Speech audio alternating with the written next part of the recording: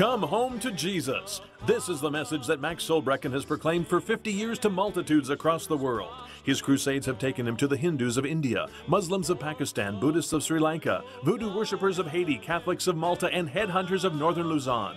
He has preached God's word in stadiums, churches, tents, universities, and prisons. He comes to you today with the message of God's love and power. The man who is not afraid to preach the truth, Pastor Max Solbrekken.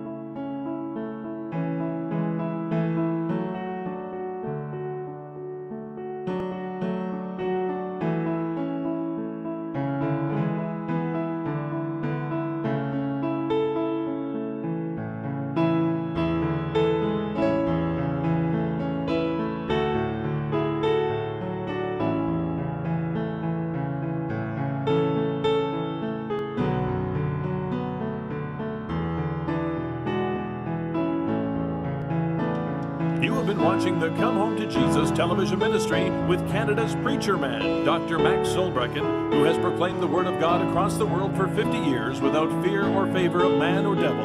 Ask for Canada's Revival magazine, The Cry of His Coming, when you write. Invest in souls by supporting this end time ministry. Please contact Max Solbrekken at MSWM Box 44220 RPO Garside, Edmonton, Alberta, T5V 1N6 Canada oh, thy